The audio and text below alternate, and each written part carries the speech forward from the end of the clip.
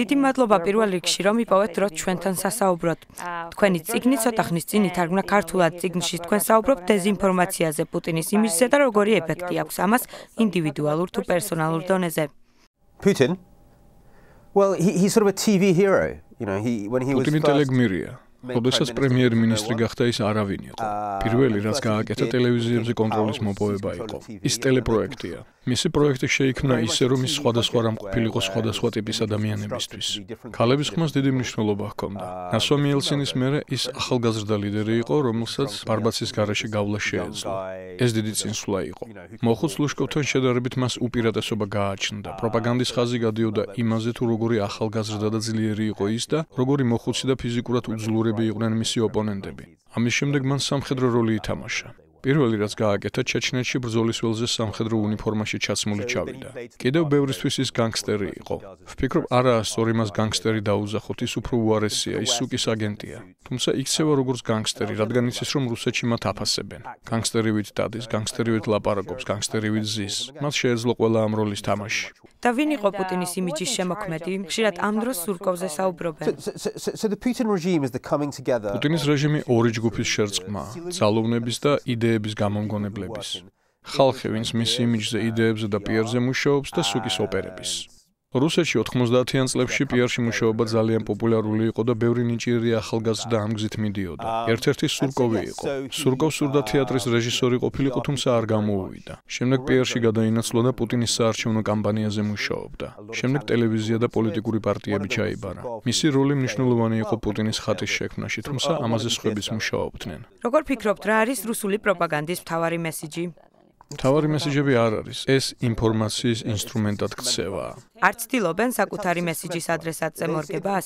ინფორმაციას უნდა ჰქონდეს ეფექტი, ხალხი შეაშინოს, ერთგულება მოისყიდოს, გამოიწვიოს უთანხმოება.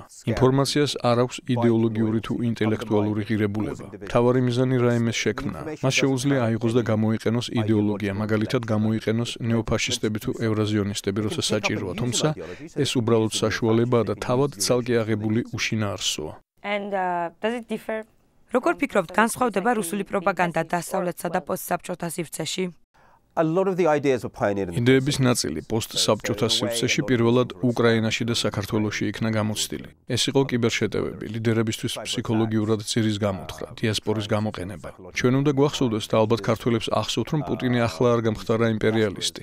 90-იანების დასაწყისში რუსეთს უკვე ჰქონდა იმპერიალისტური მისწრაფებები. მოხდა ომები დნესტრისპირეთში, აფხაზეთში. იდეა, რომ რუსეთმა შეწყვიტა სხვა ქვეყნების საქმეებში ჩარევა, ალბათ მხოლოდ 5 დღეს გაგრძელდა. ისინი ამას სულაკეთებენ. ისინი ფიქრობენ, რომ ეს ნორმალურია. მათ უბრალოდ არ ჰქონდათ რესურსები და საჭირო ენერგია. განსხვავება იმაშია, რომ პოსტსაბჭოთა სივრცეში მათ შეუძლიათ ემოციურ დონეზე манипулირება. ცოტა ხნის წინ საქართველოში ვიყავი, სათხილამურო კურორტზე, სადაც ყველა სასტუმროში და რესტორანში რუსული სამთავრობო არხები იყო ჩართული. გამიკვირდა, ვიკითხე, თქვენთან ხომ რუსეთი შემოიჭრა ცოტა ხნის წინ? მათი პასუხი იყო, ჩვენ ახალ ამბებს არ ვუყურებთ, მაგრამ შოუები მოგწონს. ეს იმპერიული ინსტინქტის ნაწილია და სანამ ეს არ დაირღვევა, ვფიქრობ, ცვლილება არ მოხდება. და როგორ განსხვავდება რუსეთის ახლანდელი დეზინფორმაციის კამპანია საბჭოთა კავშირის პროპაგანდისგან? დღეს სიტუაცია მთლიანად შეიცვალა. გეგმიური და კონტროლის სისტემისგან განსხვავებით, როდესაც ყველაფერი ორი ან სამი ადამიანის მიერ წყდებოდა და მართვის სტრუქტურა ნათელი იყო, ახლა ქსელური სისტემა გვაქვს. არის ბევრი არაკონტროლირებული საქმიანობა. ჰაკერები იქნება თუ სხვა რამ, რომლებიც დროებით ერთვებიან თამაშში. საქმის ნაწილი არაპირდაპირ კეთდება და რთულია ცენტრის მონახვა. კრემლში და მის გარშემო ბევრი მოქმედი პირია, რომელიც საკუთარი ინტერესების შესაბამის საინფორმაციო ომს წარმართავს. ეს უფრო იმპროვიზაციაა, ვიდრე ცენტრალური დაგეგმილი სისტემა. ის, რაც ცივი ომის დროს მაშინდელი პროპაგანდის წინააღმდეგ მუშაობდა, დღეს აღარ იმუშავებს. მაშინ შეგეძლო შეგემოწმებინა ფაქტები, გესაუბრა შეთქმულების თეორიებზე მედიასთან. ამის გაკეთება გაკეთება ისევ შეუძლია სახელმწიფო დეპარტამენტს და Washington Post-ის ან New York Times-ის დაყოლიება, თუმცა ეს არაფერში არ დაგვეხმარება. ვინაიდან რეალური პრობლემა მედიის დანაწევრებაა. მედია ლანდშაფტი ისე შეიცვალა, რომ ის გადაწყვეტის გზები, რომელსაც ჩვენ ვეძებთ, განსხვავებული უნდა იყოს. სოფლიო შეიცვალა რეალურად.